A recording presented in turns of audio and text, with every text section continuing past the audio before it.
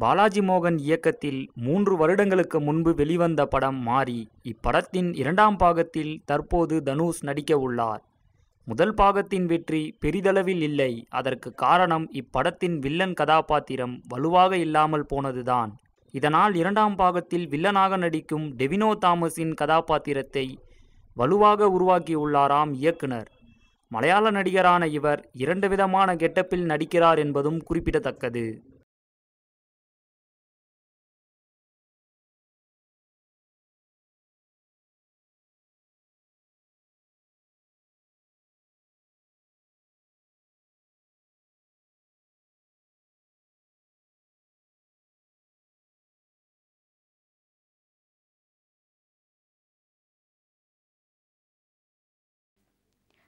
viewers உங்களுடைய boring டைமை என்டர்டைன்மெண்ட்டாக மாற்றுறதுக்கு மறக்காமல் தமிழ் காசப் சேனலை சப்ஸ்கிரைப் பண்ணுங்க